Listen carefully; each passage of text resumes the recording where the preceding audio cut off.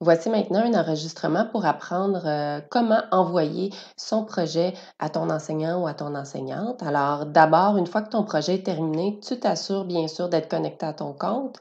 Tu t'assures aussi d'avoir sauvé la dernière version euh, de ton projet. Et la prochaine étape, ça va être de rendre ton projet public afin de pouvoir l'envoyer à ton enseignante ou à ton enseignante. Pour ce faire, il faut que tu te rendes à ta page de projet. Donc, il y a deux façons d'y arriver, soit par ici, en cliquant sur Mes projets. Sinon, tu peux y aller aussi par ici, en cliquant encore une fois sur Mes projets. Et là, tu choisis le projet à partager. Donc, si je, je choisis le premier qui est ici, il faut que je le rende public en cliquant sur le bouton Partager ici.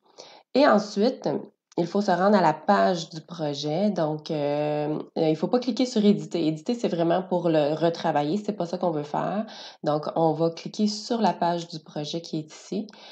Et euh, finalement, tu viens sélectionner l'adresse de ton projet qui est unique et tu l'envoies à ton enseignant ou à ton enseignante avec le moyen qui a été déterminé. Ça peut être par euh, Google Classroom, ça peut être par Microsoft Teams, ça peut être euh, par un Google Form ou euh, aussi ça peut être par courriel. Bref, l'idée, c'est vraiment que tu trouves un moyen pour envoyer ce lien-là en copiant, collant le lien et ensuite en l'envoyant à ton enseignant ou à ton enseignant.